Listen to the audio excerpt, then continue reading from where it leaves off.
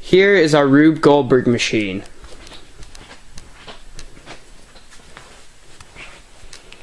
It starts off when the game case is pulled into the gap.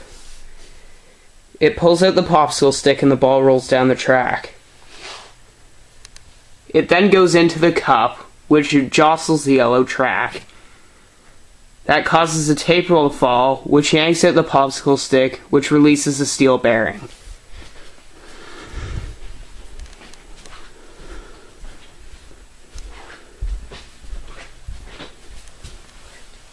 The steel bearing then rolls down the styrofoam track and across the floor. It hits the popsicle stick barrier, which jostles the skewer, which releases the orange ball. The orange ball rolls into the blue wheel, which falls off the box, which yanks at the string, which releases the blue ball. The blue ball swings back and forth and eventually hits this Lego man. The Lego man crashes into the styrofoam cup, which falls off. It takes the dragon with it,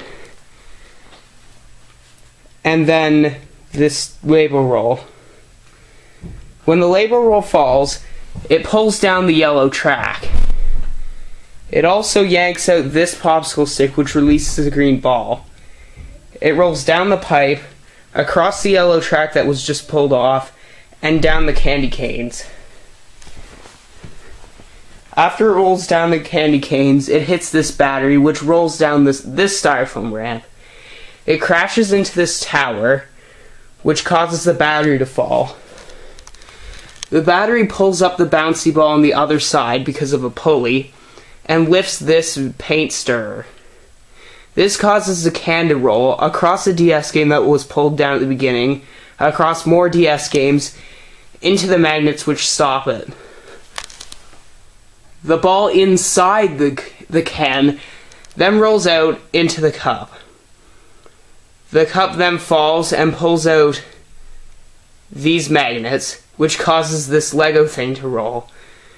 It then rolls down the, the wooden beam, crashes into the meter stick, which causes this weight to fall off, and then lands on the easy button, which ends the Rube Goldberg machine.